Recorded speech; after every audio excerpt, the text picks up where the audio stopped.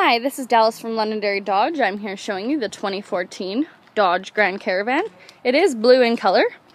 So, heading straight on into the vehicle, we do have uh, power windows and power locks. There is power mirrors as well.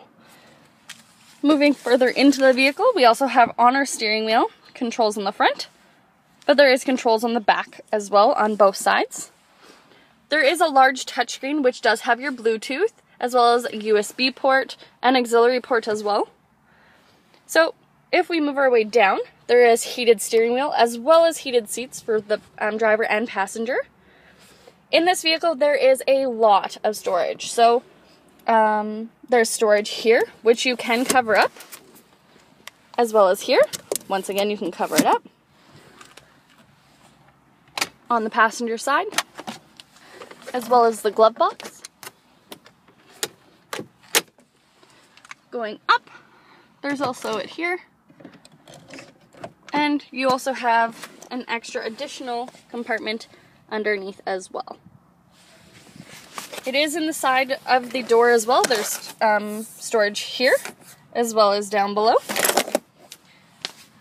Moving into the back of the vehicle, we do have um, two single seats that also have storage on the back of the driver and passenger side. There is controls in the back for the AC as well.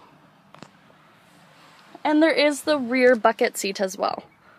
So with the driver, they do have the option at the very front of the vehicle on the driver's side to open these back windows. Going like this, there is also the cup holders as well as more storage.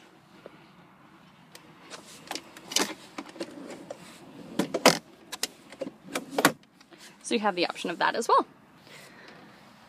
If you have any more questions, feel free to um, call in and ask for Dallas. Once again, this is the 2014 Dodge Grand Caravan.